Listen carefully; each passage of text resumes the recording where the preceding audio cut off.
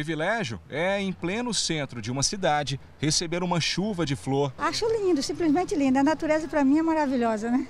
Estamos na temporada da Florada dos Ipês. São mais de 10 mil árvores espalhadas por Goiânia.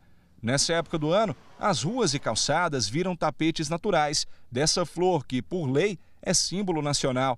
Seu Otávio trabalha no centro há mais de 40 anos e admite que acha bonito, mas tanta flor também tem seus transtornos. Se não fosse a, a, sujeira que dá aqui na porta, né? Porque isso aí, enquanto não cai a última, ele é muito bonito, mas não aqui na calçada, né? Tinha que ser na, na chácara, em algum canto por aí que fica bem longe da sua porta, né?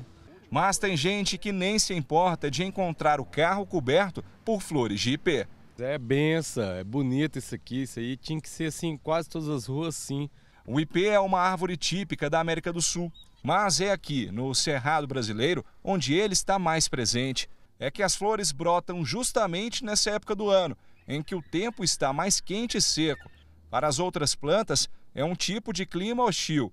Para o ipê, florir agora é uma forma de sobrevivência. Como tudo na natureza que se adapta às dificuldades e, e ocasiona e consegue passar para nós ainda, além da sua é, diversidade, a sua beleza. O ciclo do IP é sempre impressionante. Faz do inverno primavera e sabe que mesmo depois de tempos áridos, difíceis, é importante florescer.